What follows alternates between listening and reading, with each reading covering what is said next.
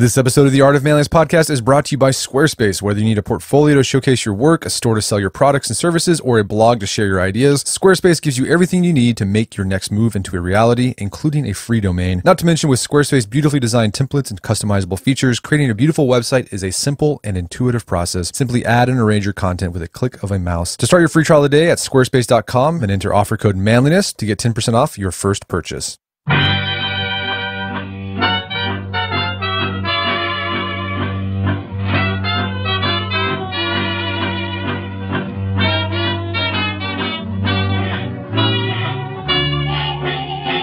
Brett McKay here, and welcome to another edition of the Art of Manliness podcast. Well, Southern barbecue is a uniquely American food, and depending on which part of the South you're in, you're going to get a different answer as to what is true Southern barbecue. Despite the differences, one thing that unites Southern barbecue is its unabashed love for the humble pork butt. My guest today on the show has taken a tour of the South to find barbecue joints who are taking this traditional choice of meat and doing new things with it while sticking to the roots of Southern Q. His name is Matt Moore. He's our food contributor here at AOM, and his latest book is The South's Best Butts Pitmaster Secrets for Southern barbecue perfection. Today on the show, Matt discusses the details of the history of barbecue and explains why pork is a staple in the Southern variety of barbecue. He then explains what exactly a pork butt is, and no, it's not the rear of a pig, and why it's such an ideal meat for smoking. He then shares how and why barbecue flavors and techniques differ in different parts of the South and highlights a few pitmasters who are adding new takes on this traditional dish. We then end our conversation by going through a step by step process of smoking the perfect pork butt, as well as some dishes you can prepare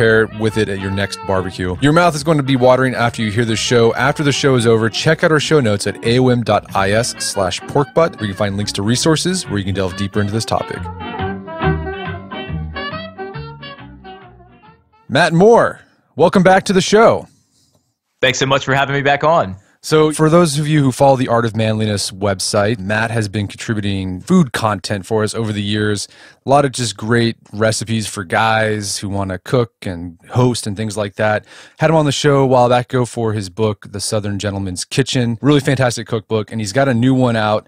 This time it's dedicated to the wonderful world of barbecue, particularly Southern barbecue. So, Matt, what was the inspiration? Uh, for you to travel around the American South in search of the perfect barbecue pork butt?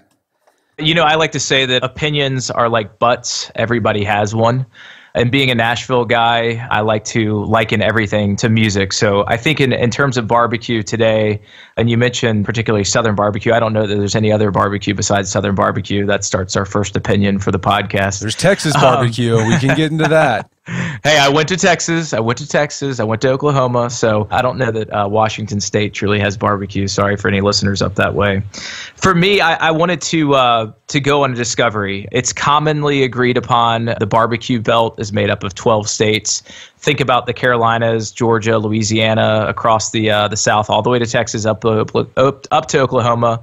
The only people that we kind of forget about in the South is Florida. Sorry, but I wanted to go out on the road and showcase all the different styles that regional barbecue has. You know, dry rubs in Memphis, mustard based sauces in, in, in South Carolina, white based sauces in, in Alabama. And by doing a, a, focus on the pork butt, that was kind of my medium through which we looked at all the different types of recipes. So you're getting a lot of recipes for woods, you're getting techniques, uh, dry rubs, whether it's sauced or not, how it's served.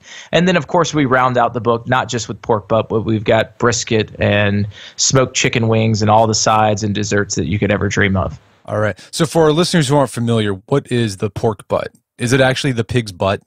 No, it's a okay. common misconception. Right. The pork butt, actually, the butt is actually the ham cut, but the pork butt, as we're referring to it, is actually the pork shoulder. And again, there's a lot of opinions, there's a lot of mystery behind where that name came from. But the pork butt got its name back in the day because they used to salt cure the shoulder cut along with all of the other cuts and, and pack them in, in barrels. And those barrels were sold, and, and the, the terminology to refer to that barrel was a butt, B U T T. It's where we get the name Boston butt. So it's actually the shoulder cut, which typically is a really tough cut. You know, it's a, a lot of muscle, a bit sinewy, and that's what requires such long cooking periods from anywhere from 20 hours, as I discovered in St. Louis, all the way down to just a couple of hours. And that's the unique thing about it. There's kind of 20 ways to, to skin a cat, and same way with a pork butt. So is that why the pork butt is often used in barbecuing because it requires you know a considerable amount of cooking time to get it nice and tender? Yeah, I mean, barbecue traces its name most commonly to the term barbacoa, which is roasting meats over open coals on spits. I think the pork butt is so popular because it's really ubiquitous. Sorry for the Texans and, and Oklahomans, but you know, to me, the pig is the cornerstone of Southern barbecue, and I think that the pork butt is kind of that veritable cut that everyone goes back to. You know, it's a humble cut. It's cheap stretches to feed a crowd. And, and for me, it's the starting point for kind of defining Q. As I mentioned earlier, you know, liking and everything to music. I think Ribs for a long time have, have served as basically the lead singer of the band. You know, everybody loves Ribs. They're adored by all, but they're quite finicky to prepare and also when you're consuming them. You know, I think if you look at Texas and Oklahoma barbecue, brisket has come on on the spotlight. It's kind of like the lead guitarist is trying to steal some of that spotlight from the rib. But the pork butt has always served as kind of the drummer or the bassist behind the scenes, keeping everybody in time. And I wanted to to pay homage to it to uncover what people are doing with that cut from state to state to state. Right. You know, I've never been a fan of ribs. I mean, I'll like them, but like it's not like my favorite. it's not my favorite thing. When there's barbecue, I'm like, oh, I'll have a rib. That's it. But I'd rather eat. You know, a, a great rib. Yeah i mean pulled pork is obviously one of my favorites but a great rib can be transcending but you more often than not come across really really bad ribs than you do great ribs. I'll tell you uh, one of the places we featured in the book is a place called b daddy's barbecue in san antonio texas and they're known for their beef brisket and beef ribs. And let me tell you what man i ate more than my weight's full of beef ribs that afternoon in san antonio. Gotta do it right. So let's talk about the history of barbecue. It's a predominantly southern phenomenon. It's it's been transported to other parts of the country. But what's the history of barbecue in the South? Why is it such a big thing there? It's cheap. uh, you know, pigs were first brought over by DeSoto to Florida back in the 1400s, and it was an animal that could survive long voyages at sea. And then it didn't need a whole lot of domestication when it came stateside. They could basically let them run wild, a problem that we're dealing with still today in the South. That being said, to to cook these meats, it does take a low temperature and quite a bit of time. So I think just regionally, it's what caused it really to p- proliferate throughout the South. And I dig into the history of one of the unique things that we uncovered is, you know, the South has had a long storied culture. Some of it's more troubled than any, but back in the in the plantation era, one of the rare acts of humanity that you would see amongst slave owners and slaves is they would throw, and they're still called these today, pig pickings, where actually you broke the bonds of social hierarchy and the slave masters would literally dine with slaves. And it was a time of celebration. It was a time of harvest. And that's still a tradition that's carried on obviously not in the same bounds that it is back in the past. So you know i think it's always played a, an important role in the civil war. It was a food that could be salt cured and preserved to keep people fighting and, and cheaply served. But i also love politics. And i'm not going to talk politics today but Barbecue in the South is often found at political rallies. It's found at weddings. It's found at funerals. It's a food that everybody loves. It's a food that can serve the masses. And I think it's the ultimate comfort food. Though in different forms, you find it throughout the South. And, and now you're finding it throughout the U.S. and the rest of the world. Yeah. I mean, I think that's interesting. The history part was really fascinating that people in the 17th century or the 18th century were having like barbecue parties, right? I mean, it's like it's yeah, crazy to absolutely. think. Like we think it's like, oh, it's this thing that we've been doing just for a short time, but like no, it's been going on for hundreds of years. Yeah, that whole hog style of cooking. You know, one of the other things is the etymology of the word barbecue. As I mentioned earlier, most people relate it back to the term barbacoa. Some people give credit to the French Haitians that call it barbacoa, which is basically nose to tail, if if you will, or head to tail, and that's kind of to describe the whole hog method of cooking in the Carolinas. And one of my favorites is beer bar.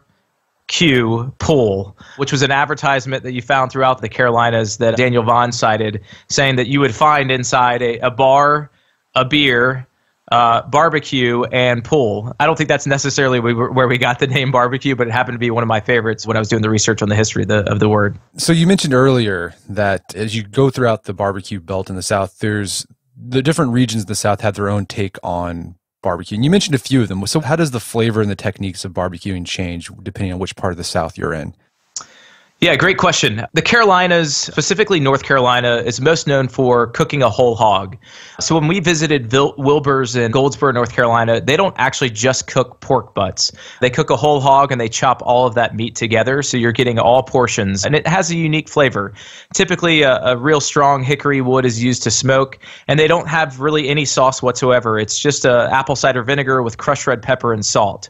As you make your way down through South Carolina, you're starting to pick up more of a mustard based sauce, and, and a lot of folks give credit to a lot of the German immigrants that came over uh, during that time period. As you go to Georgia and Louisiana and Alabama, Alabama, you pick up a little bit of a white sauce, which is based out of a mayonnaise. And if you go up to Kentucky, you find not really pork, you find mutton. And then as you make your way west, most people typically say that you first find tomato and a little bit of sweetness in the form of a, of a syrup as you find Memphis and St. Louis and Kansas City style barbecues. And of course, as you go all the way further west, you're going to pick up more beef in the state of Texas. And one of my favorites, you know, right there in, in Tulsa, Oklahoma, they called uh, smoked bologna. They called it Oklahoma tenderloin. So there's a lot of different things that make up the different styles, but those are the commonly agreed upon as you make your way from east to west. So, do you know why the tomato and like the more sweet is in like Missouri and Kansas City? Do you, I mean, you know, like you mentioned that the mustard base from the Germans and the Carolina stuff is more from whatever. Like, why the sweetness as you get west? You know, it's a good question, and, and that's one that you might have me stumped on. I, I didn't find anything that, out of particularity, would uh, lend itself to say that tomatoes appeared more in that side of the country. I think that just tastes are different. You know, to me, people ask all the time, well, what is good barbecue? I think we all associate barbecue with what we grow up on. So for folks in Kansas City and Memphis and St. Louis that, that tend to like a sweeter based sauce, when they try Carolina style barbecue, which I said is just vinegar, a little bit of heat from crushed red pepper and salt, they don't really consider it barbecue because it's not the barbecue that they grew up on. So it's it's still something that's super super hyper regional. But as to why you you you get more maple syrup or cane syrup or something along those lines as to what makes it sweeter, I just think it naturally evolves over time as as t- people's tastes and preferences kind of carry on that way. Gotcha. So I mean, you mentioned I someone people ask you like what makes good barbecue good barbecue you can have bad barbecue like there's bad ribs. Is it possible like to screw up a pork butt or is it a pretty forgiving meat piece of meat? Yeah i think one of the unique things about focusing a spotlight on the pork butt it is a, a forgiving cut right? Skip steele who's a pretty famous pitmaster at bogarts in st louis he, he said it perfectly. He said you know cooking is a math problem. Time plus temperature equals results. He's a gentleman that uses hickory. He smokes his pork butts at 200 degrees for 20 hours. That's quite a commitment, right? you know, I found uh, a gentleman in Leachville, Arkansas at Big Butts Barbecue that will actually break down the pork butts. So he cuts them into one and a quarter inch steaks. So you get more surface area, and he cooks them at about 325 degrees for just a couple of hours. The results were different, but they were still both delicious. So I think in terms of the other cuts like a brisket, which, you know, once it's dry, it's not good anymore. Ribs can be quite dry or not a whole lot of meat on the bone. The pork butt is one that is quite humble and forgiving, and there's a lot of different ways to approach it. In this book, you visit all these different barbecue joints, big ones in the South. I mean, what do you think they all had in common? And besides that, like what what were the big differences besides the regional flavors of what they're doing? Did they, they have differences in the way they approach barbecue, or innovation, or sticking to tradition? Yeah, great question. I think we'll dig into it in just a bit, but you know, the commonality was just great people. These pit masters that show up to work at three or four o'clock in the morning to cook all day, all day long. I mean, they're judged more than a Michelin star chef. So, in those instances, the commonality was just meeting great people. Uh, in terms of innovation, yes, I think anybody can cook great barbecue on the most expensive piece of equipment, whatever that might be. So, if you just have a kettle grill that you can pick up at any hardware store with some charcoal. That's one of my favorite ways to cook, digging a hole into the backyard to cook a whole hog. But we did find quite a bit of innovation. Nowadays, you come across commercial smokers that can smoke, you know, 20 and 30 butts at a time that is using gas to, to control temperature precisely. And then they're using some actual real wood for smoke flavor. I think the rule is going back to time and temperature equals results. It doesn't really matter what you cook on or how expensive your equipment is. The food is going to to be quite a bit better if you're actually a master of time and temperature control than anything else. Yeah, I have a buddy who does a lot of barbecue and he says you can use a metal garbage can and still cook good because it all comes down to time and temperature. If you Absolutely. control those things, you're going to get a good thing. Absolutely. Was there any places that you came across that you saw were doing something really unique with barbecue to change things up? Yeah, I think one of my favorite places that I came across is called Heirloom Barbecue in Atlanta, Georgia. They literally, the Georgia Department of Transportation tried to shut the restaurant down because the traffic getting into the restaurant was so bad it was causing problems. That's no joke to those in Atlanta with the I 85 bridge that recently collapsed. Atlanta is already a traffic ridden city, but what you find there is a husband and wife. Cody Taylor is originally from Knoxville, Tennessee spent a lot of time in Texas. So he is a true Southern barbecue pitmaster. He married uh, his wife, Jiyeon Lee, who happens to be a Korean pop star. And I mean it. She's like Britney Spears big in South Korea. She wanted to get away from the spotlight, tended Le Cordon Bleu in Atlanta, and started cooking. They got married. And what you have is this harmonious flavor of true traditional Southern barbecue married with a Korean influence. So I don't want to say Korean barbecue at all. It's, it's, it's nothing like that. You're finding pork butts that are smoked, you know, 16 hours over hickory, but they're marinated in a, a Korean red chili rub called gochujang, which gives it this incredible umami flavor. They've got, instead of a traditional coleslaw, they make a kimchi slaw. Their pickles are all done in a South Korean way. So to me, that was a really innovative style of cooking in a barbecue where they're really paying homage to the roots, but they're making it their own but it, it is sort of that innovation is baked in the DNA of barbecue because it's like you're combining all these different cultures into this new food, right? Absolutely. You know, I think the thing about barbecue is we're probably a little slow to walk t- towards innovation. Most purists might go to a place like Heirloom and claim that because of some of the influences, you know, it wasn't traditional Southern style barbecue. I, I would hotly disagree. I think that barbecue is a constantly evolving space, you know, and that's one of the things that I wanted to showcase in the book is a whole lot of diversity. Most people think of, of pit masters being uh, men, but there was quite a quite a few females. Uh, Helen Turner in Brownsville, Tennessee. Uh, I mean, she's just as, as as tough as any man I've ever met. I mean, she's building big fires in an open pit at four o'clock in the morning and working all day, the front of house, the back of house. So you're you're going to come across people that of all different walks of life that are carrying on the tradition of barbecue and making their own stamp on it as they continue to carry that tradition on.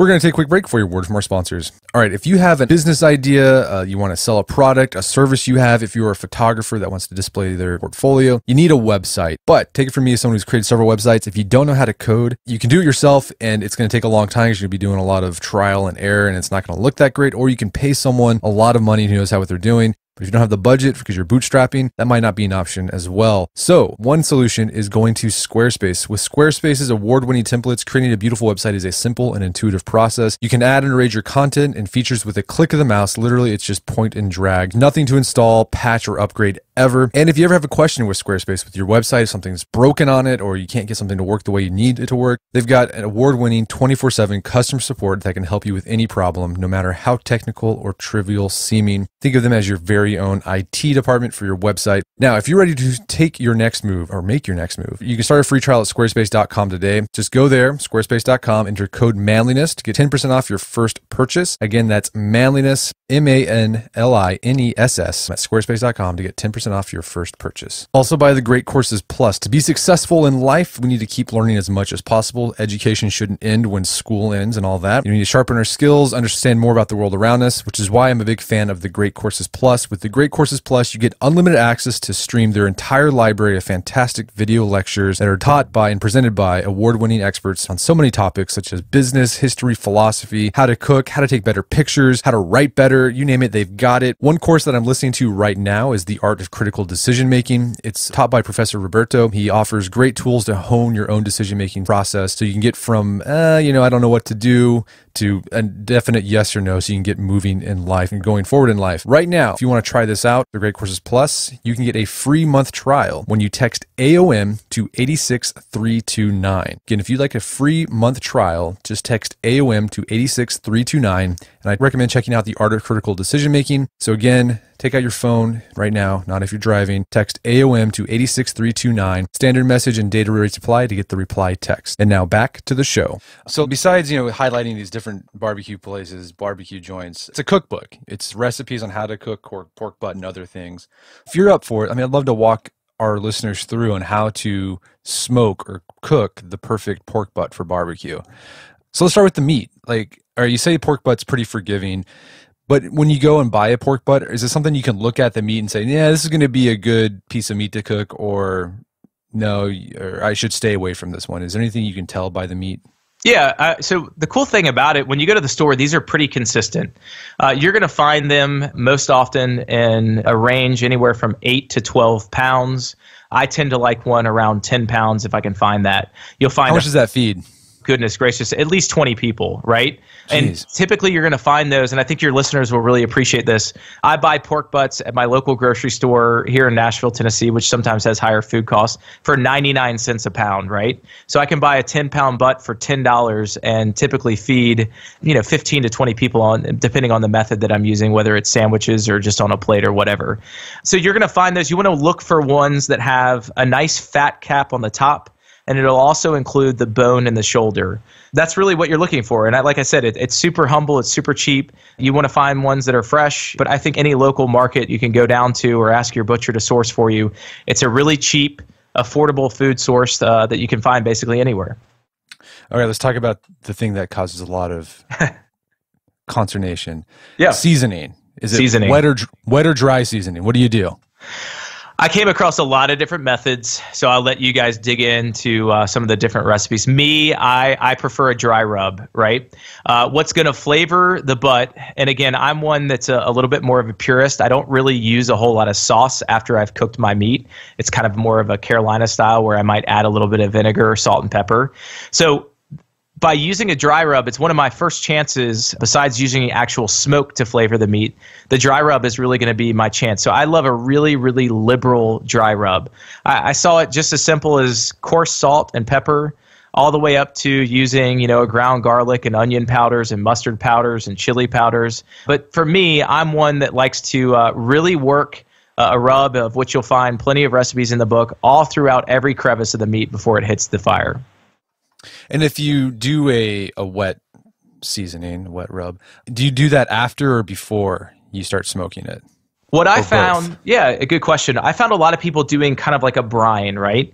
So even if it was kind of a salt and water solution where they were submerging the uh, the actual pork butt overnight, or I, I, came across some that, that actually would coat it in Italian dressing and let it sit overnight. The one commonality, though, before, uh, whether they used a dry rub or not, they were sure to really, really wipe down and dry off either the brine or the marinade before they put it on the smoker. You don't want to have a wet butt, sorry for the pun there, and then add a dry rub to it because in the first few hours, remember, we're cooking at a very low temperature. So what happens is all that dry rub is just going to kind of steam off the meat and it kind of goes against the purpose of giving it a dry rub. So if you do do a brine or a marinade of any kind on the butt, you want to make sure that you wipe it completely dry before you put a rub or before you even put it on the fire.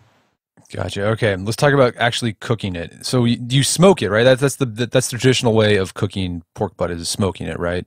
Yeah, true barbecue is is taking you know wood coals. I most often came across mesquite or hickory coals, oak coals as well. Some people prefer fruit woods like an apple or a pecan that can add a little bit sweeter smoke to the meat. But true folks will tell you that you have to actually burn down logs of, of wood into coals and then you shovel those coals underneath the meat. And the idea is that as the meat kind of gives up its its fatty goodness, it, it, it kind of drips down on the fire and that smoke flavors the meat throughout the long process. That's that's the tried and true method. You know, you can also get away with using lump charcoal, which kind of makes that step a little bit easier, and then use uh, wood chips to help provide more smoke flavor. You know, a lot of people are against briquette style charcoal, but I came across uh, a gentleman in Arkansas that that always used briquettes and, and got great results. So I think there's a lot of different methods there. But in terms of the smoke, what I find is that most people are trying to impart smoke flavor for the first one to four hours. So if you're looking at a, a, pork butt that's about 10 to 12 pounds at around 250 to 275 degrees, you're looking at probably a, a, cooking time anywhere between 12 to 16 hours, with most people adding some of the actual wood chips into the first four hours of cooking. Wow. So you're looking at 16 hours. Like, so if you were like wanting to smoke something for the weekend or for like a party, like say a Saturday night, when would you need to start ideally? Hey, that's the fun part if you ask me. You start the night before and you turn on some Waylon Jennings and crack open a cold beer. You know, that's one of the things where having a little bit more sophisticated smoker plays to your advantage. Using a kettle style grill, you're going to be up a couple times during the night to replace charcoal. If you have an egg style cooker, you can you can get that thing set and it'll hold the temperature for you for 16, 20 hours. So that's one advantage I will say of having a little bit more expensive equipment or even a gas style cooker where you can absolutely regulate that temperature to a T and then then add your wood chips for that smoke flavor. But most folks are doing this uh, the night before. You know, one shortcut that you can use that I found throughout throughout my travels was cutting that pork butt down, maybe in half or into four portions, so that you create more surface area, so that that heat can work around the meat in a shorter period of time. Or what I find a lot of folks doing is the old Texas crutch method. Uh, and this is one of my favorite things that I found people doing with ribs and brisket and even the pork butt. They'll smoke it for, you know, four to six hours over the fire and then they'll pull it off and they'll wrap it in aluminum foil. And what that does is it, it prevents any more smoke from penetrating the meat, but it creates sort of a convection style cooking so that it continues to cook and tenderize the meat and, and I find that if you use that method instead of it taking you know 16 hours, you might be able to pull the whole thing off in, in 10 or 12 hours instead. Okay, that makes sense. then, like, what do you do after you you smoke it? What do you think is the best way to to prepare or to present the? You meat? know, for me, shred it, slice it. yeah, there's again. Uh, thousands of opinions on it. The first thing you need to do, just like when you're cooking a great steak, is you need to let it rest. That was another commonality that every pitmaster that I met with in my travels agreed. So whether it was 30 minutes off the uh, the heat or even up to an hour or a few hours, it's important to allow that meat to rest. It gets its name pulled pork from just actually what you do. You, you should literally be able to pull the bone out of it clean. There should be no meat on the bone. That's when you know that you've cooked it to the right temperature. Most folks will tell you that you want to cook it to 200 to 205 degrees to make sure that it's going to pull correctly. So it should be super, super tender and pull easily. Carolina style, because they're typically cooking a whole hog, they tend to chop the meat. So they'll work a cleaver into the meat and actually have a, a chopped meat. And then when you mentioned sliced, I didn't come across that a whole lot with the actual pork butt. Up in Kentucky, we came across barbecued mutton, which was typically chipped, which would be more of a pulled style, or they would actually slice that. So that was the only place that we came a- across a slice style of the butt. Okay. And suggestions on what to serve with your pork butt? Just like coleslaw, baked beans? I mean, are, is baked beans a thing like for Southern barbecue? is that a Texas thing? Oh, baked beans are huge. I think we give you probably okay. 75, 80 side recipes for uh, rounding out the pork butt. You know, and, and, so traditionally it's served on a sandwich, right? You can choose whether you want to add sauce to it, if you want to top it with a slaw or pickles or onions. You're going to get a lot of different recipes for the method of service. I think what's really cool is, you know, in, in Texas they they serve their pulled pork on tacos, right? I came across a pulled pork ramen where they're actually taking the pork meat and infusing it into a, a bowl of noodles and ramen. So for me, however you want to serve it, there's a lot of different variances, and I think this is a good point. You know, we've talked a lot about a pretty lengthy cooking process, whether it's 20 hours or a few hours. It's a big commitment.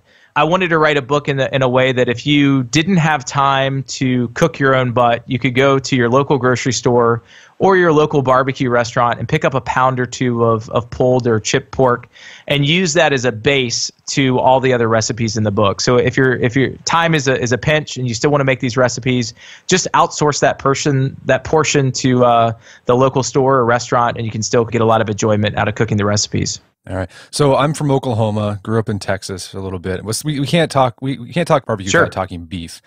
Let's talk brisket. Like, man, I've messed up lots of briskets before trying to cook because they're just it's such a finicky piece of meat.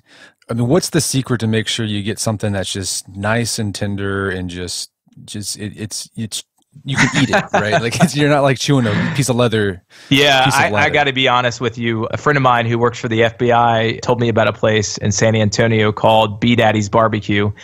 You got to be you know, when you think about it, finding a pork butt in Texas was really difficult. But the reason I went there is because you have so many military guys that are down there from other parts of the South that just demanded a pork butt.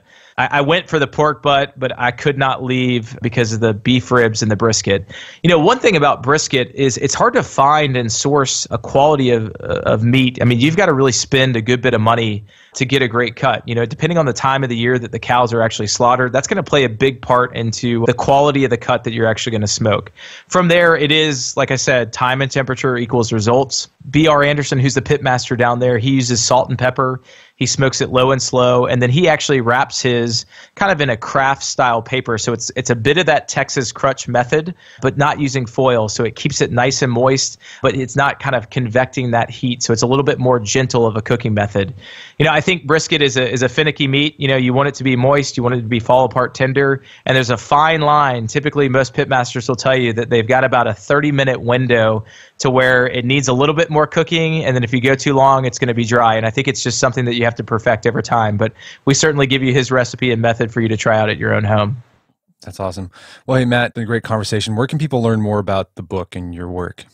Yeah, thank you for having me back. We are going to do some of the recipes on on the blog at the Art of Manliness, and then you can also check me out uh, Instagram at Matt Moore Music or uh, via my site at mattrmoore.com. Awesome, Matt Moore. Thank you so much for your time. It's been a pleasure. Hey, Brett. Thanks. My guest today is Matt Moore. His latest book is The South's Best Butts. It's available on Amazon.com and bookstores everywhere. Pick up a copy. Also, you can check out more about his work at mattmoore.com. Also, check out our show notes at aom.is slash porkbutt, where you can find links to resources. We can delve deeper in this topic, and you can find more of Matt's cooking content at theartofmanliness.com.